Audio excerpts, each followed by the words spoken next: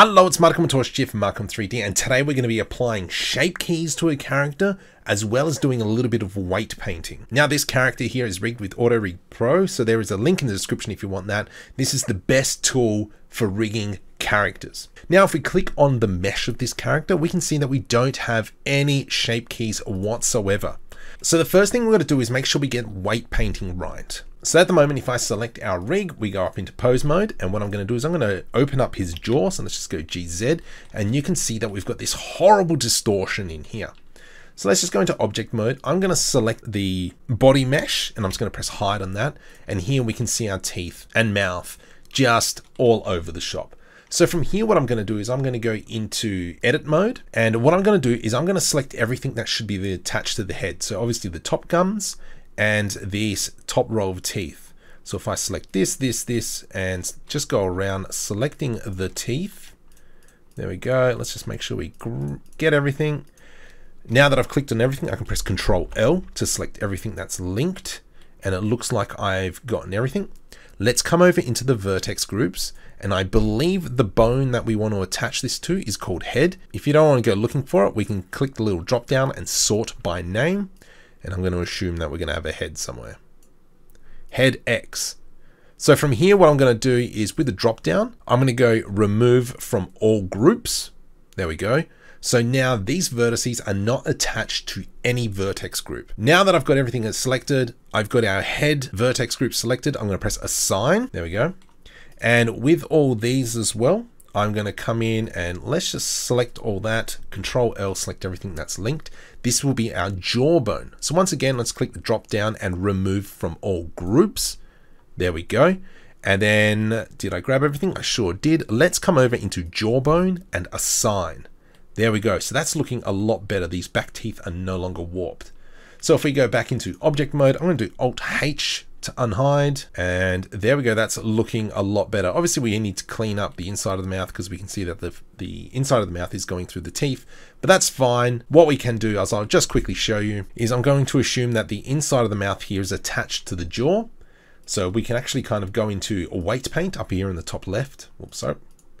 We can select their body mesh come up into object mode and we'll change that to vertex uh, weight paint sorry Let's go down and find our jaw. So let's short, sort by name again.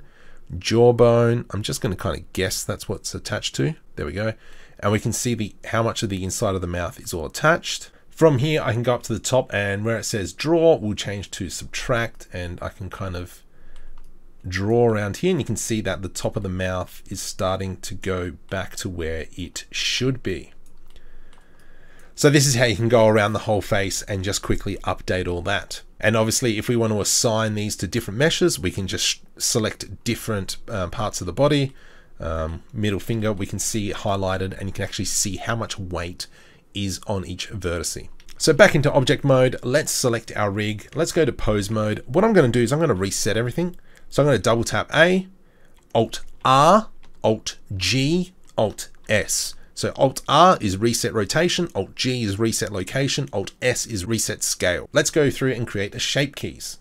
So what I'm going to do here is I'm just going to select the corner of the mouth here. I'm going to press G and move it up. And that's kind of our smile. It's a bit of a wonky smile, but let's just go with that for now. I'm going to go into object mode now, select our mesh. From here, we're going to see that we've got no shape keys. I'm going to click on the modifiers and what I can do now is apply as shape key. So we can see that everything goes away. But if I come down here, we have our basis, which is our default mesh. And then we've got our rig. This is the one we will rename to L underscore smile. So for instance, now if I change this value, we can see that we've got him smiling up and down. Now this is the really important bit. We've got the mesh selected. Let's come back into here, add modifier, armature, and we know we've only got one ring. Well, we've got the ring and then we've go, we've applied it. Now this bit is really important. Listen to me or you will lose lots of work. Listen to the next bit. Please. Don't do what I do. Don't do what I do, do what I say. You listen to the next bit. It's important. Make sure you remember this bit. Click on the rig, go back into pose mode, you need to reset the location, the rotation, and the scale. So Alt R, Alt G, Alt S. Because if we were to have left that, when we come over here and kind of do this, this bone here would have stayed. and then when we go back into the modifiers and apply a shape key, we can come down into the shape keys, this armature, and we can see that we've got that double smile. And I think if we add that one, we go even further. So that's not what you want. So you have to remember to select the rig. Let's go pose mode, select everything, Alt R, Alt G. And obviously we set ourselves up for the next one. We go into modifiers, add modifier, armature, rig. Uh, once again, we can go into pose mode and we can do stuff. Now, another important tip. Oh my goodness, another important tip. Did you hear me? Another important tip